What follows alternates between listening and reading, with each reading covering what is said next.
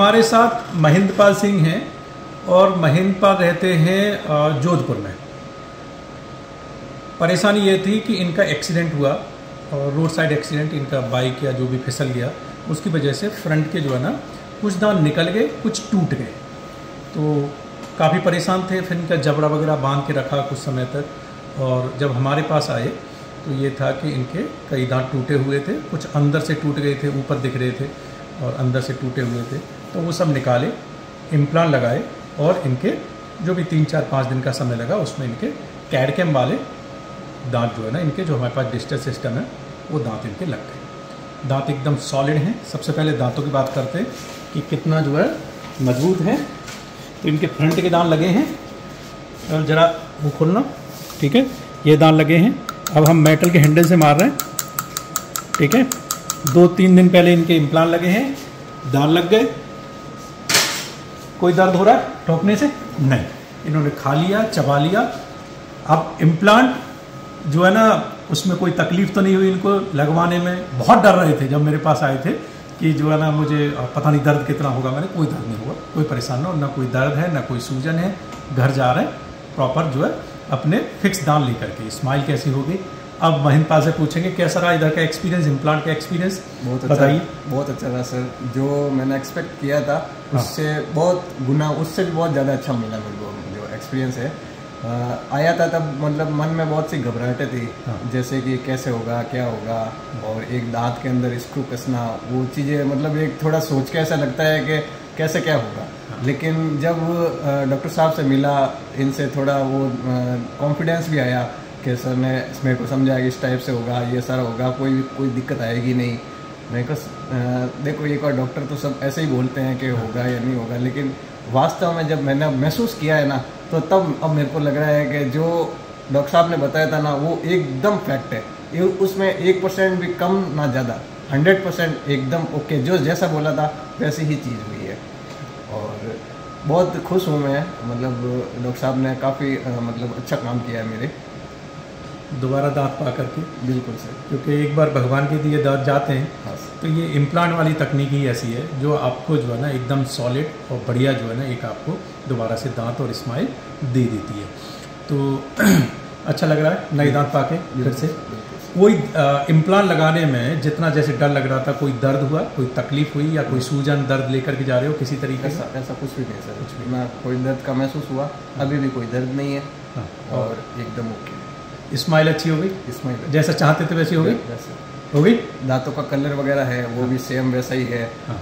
ना कोई फ़र्क दिख रहा है उसमें कि भाई कोई दांत अलग से लगा रखे हैं। हाँ। कोई भी डिफरेंस नहीं है। जैसा नेचुरल पहले दांत थे वैसे के वैसे लग रहे हैं। इनसे खाया? चबाया? बिल्कुल खाया सर। सेब खाई थी मैंने खीरा खाया था। हाँ। तो कोई दिक्कत काटने में कोई दर्द किसी कोई दिक्कत चलिए। तो ओवरऑल बाकी इधर का एक्सपेंस एक और प्रॉब्लम है। जो लोग दूर से आते हैं आप लोग आप जोधपुर से आए हो यहाँ देखा होगा सभी लोग एक गंगोत्री से आए हुए हैं। महाराष्ट्र से नागपुर से आए हुए हैं।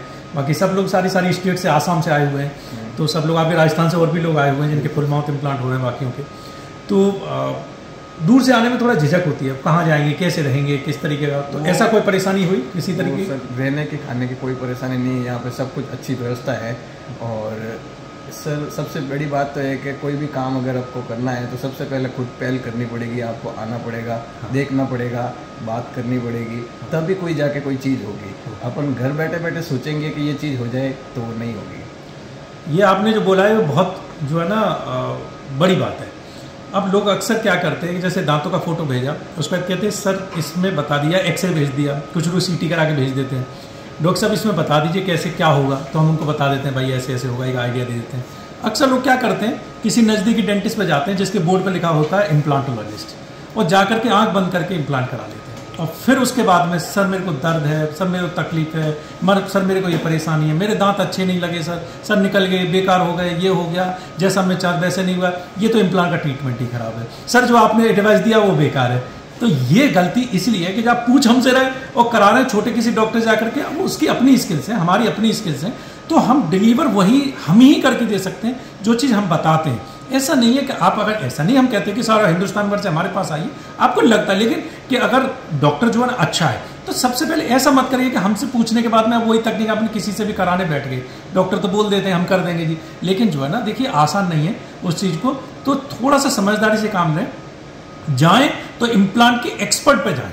ऐसा ना करें कि किसी भी डॉक्टर पे चले गए और आपने करा लिया। तो सोच समझ कराएँ जिन डॉक्टर से आप इम्प्लांट करा रहे हैं, उनका कितना एक्सपीरियंस है, कितना इम्प्लांट की तकनीक में नाम है, नाम नाम है। एक जो है ना, बहुत बड़ी प्रॉब्लम ये होती है कि सब लोग सोचते हैं कि जो दांतों का डॉक्टर है, वो इम्प्लांट का डॉक्टर है। नहीं जो दांतों के डॉक्टर होते हैं, उसमें अलग अलग अलग अलग जो है ना फ़ील्ड होते हैं।